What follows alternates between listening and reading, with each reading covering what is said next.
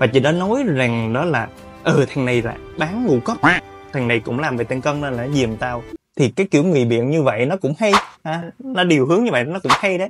Nhưng mà nó sẽ không giúp cái sản phẩm của chị đó nó được trong sạch hơn. Tại sao không thử phản biện vào những cái luận điểm mà tôi nói, những cái luận cứ mà tôi nói? Tại sao không phản biện về cái chuyện đó là xuất xứ của nó không rõ ràng?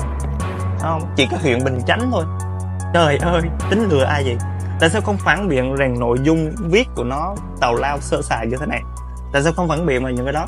Tại sao không show up ra cho mọi người coi về cái chứng nhận an toàn thực phẩm, về cái việc cấp phép bán trên thị trường? Tại sao không làm những đó? Đó là những cái rất cơ bản của ngành thực phẩm bổ sung mà phải có. Các bạn đọc cái này, các bạn sẽ thấy là rất nhiều vấn đề và tại sao tôi không hiểu tại sao các bạn có thể dùng được nha. Cái chống chỉ định ở đây, nó chỉ dành cho ngành thuốc các bạn tức là trong thuốc nó sẽ có cái phần chỉ định, tức là ừ thuốc này dùng để trị cái bệnh này, bệnh kia nè.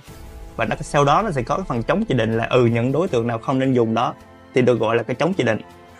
Còn ở đây chúng ta thấy rằng nó có phần chống chỉ định, nhưng mà nó lại viết theo cái kiểu nữa nè, là ngưng uống không bị giảm ký lại, không mệt mỏi, không gây buồn ngủ, không gây tích nước.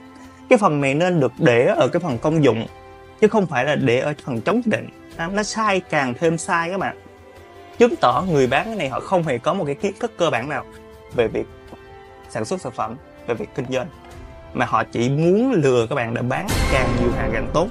Cái sản phẩm này, đọc cái hướng dẫn của nó, tôi thấy nó có rất nhiều vấn đề hại sức khỏe các bạn.